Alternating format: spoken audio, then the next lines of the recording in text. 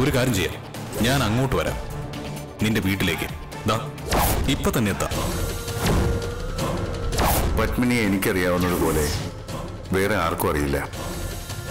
അവൾക്ക് ഒരു മാനസിക പ്രശ്നമില്ല ഏട്ടാ. സ്ഥായിയായിട്ടുള്ള അഹങ്കാരത്തിന്റെ കൂടെ ഏട്ടൻ പറഞ്ഞതുപോലെ ഏതോ ഒരു ഭയം അവളുടെ ഉള്ളിൽ കയറിയിട്ടുണ്ട്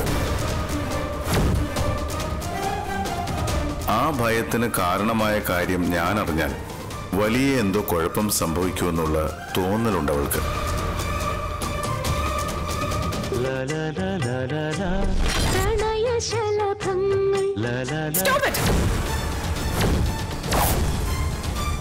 എനിക്കറിയാം ഈ പാട്ട് ഞാൻ കേൾക്കാൻ വേണ്ടി നീ മനഃപൂർവം സെലക്ട് ചെയ്തതാ.